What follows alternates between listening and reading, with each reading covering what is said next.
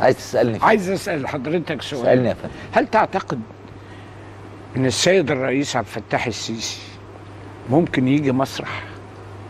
لا أعتقد. لا تعتقد. آه أتمنى إنه يجي بس لا أعتقد.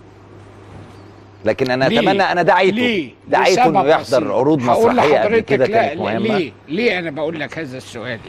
اولا هيبعت رسالة طمأنينة للخارج طبعا. بشأن السياحة. هيبعت رسالة حضارية بشكل الحضارة المصرية اللي بره ما يعرفوهاش.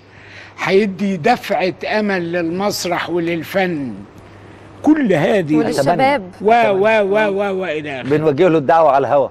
سيد رئيس الجمهورية نجوم مسرحية ليلة من ألف ليلة. بيدعو حضرتك إنك تشرف دي وتحضر العرض. مبادره وتكون دي مبادرة إن إحنا نفتح ال 500 حاجة و50 قصر ثقافة اللي موجودين آه. في مصر. ولما يبقى رئيسنا مهتم بالثقافة وبالفنون بالظبط ده معناه كده. إن الناس هتهتم بالثقافة والفنون. يا أستاذ خيري يعني- لم يقم المسرح في مصر إلا تحت رعاية الحكومة ولم ينهار المسرح في مصر إلا على يد الحكومة. أنا بأيد الكلام ده جدا. يعني فكرة ان إذا في آه،